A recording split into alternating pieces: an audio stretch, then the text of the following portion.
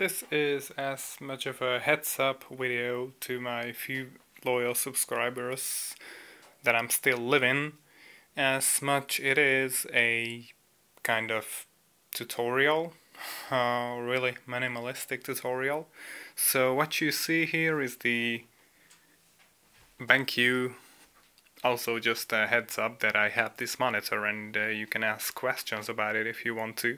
I also had the XL2740 and although I didn't play much on this monitor, I already saw the UFO test, uh, the ghosting test, and I can tell you that the XL2740 and this, the XL2540, are nearly uh, indistinguishable.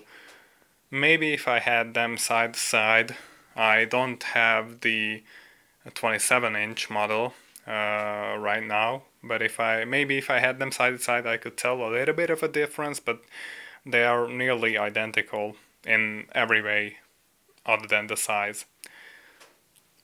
Which I wasn't expecting uh, because even though mm, logic would dictate that usually two monitors, which um, are the same model, just different sizes, aren't exactly the same despite logic dictating that because they have to use other panels and other panels may be tuned slightly differently in terms of response times, color, whatever. And that usually shows up in the monitors themselves. But in this case, they're damn near identical in terms of colors and ghosting. But yeah, just just a heads up that you can ask questions about this monitor now as well and maybe I could even compare it to the other monitors I've tried such as the I don't know LG 27GK 750F-B, which is a pretty long ass name and I hate to pronounce it. Or the Alienware AW2518HF. So many monitor names I've memorized. I'll link, uh, I'll put in the description, I'll put all the names of the all the monitors I've tried. So if you're curious about them or curious about comparisons, you can ask away in the comment section. But finally, getting back to this monitor, I'll uh, remove it from the monitor arm I've put it on onto. This is, by the way, a Czech monitor arm, which is a really sturdy monitor arm, and it only costs 40 euros. And I can see monitor arms floating around $100 uh, on Amazon and eBay. And honestly, they don't look nearly as sturdy as this one is. So props to these Czech guys. Even with the manual, they really did well. It's really clear and understandable and all the accessories.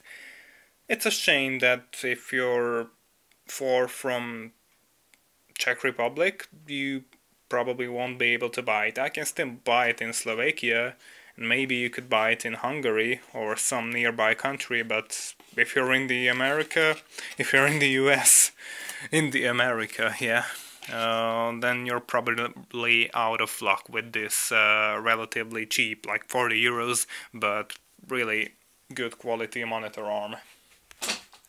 But enough jibber jabber, let's get back to the monitor itself. If you've just unpack the monitor, then you don't even bother with the stand if you want to put it on an arm.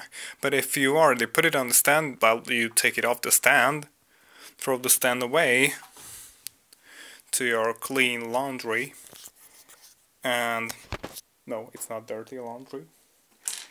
And you take out these four of these black screws which reside here. They are usually hidden away um, by the monitor stand. So you take these out and you screw in the provided screws with your monitor arm. And uh, from that point onwards it, differ it differs for all kinds of monitor arms. But I'll show you what comes next with my monitor arm. So you lift the panel and gently, very carefully, put it on here. Because as you can see that thing there is just a hook. You can put these screws on that hook. And later I'll tighten them up but first I'll add these two screws also. And after that is complete I'll just plug in the cables and uh, move the arm around however I see fit. And now I'll have more space below the monitor to put my keyboard and my mousepad and whatever else I'd like to.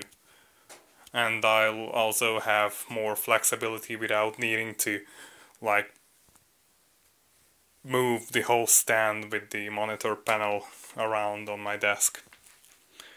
So yeah, that's it. I have the XL2540 now. Oh my god. I just realized that I probably covered the microphone for like the last minute, but hey, we'll see. We'll see how it turns out.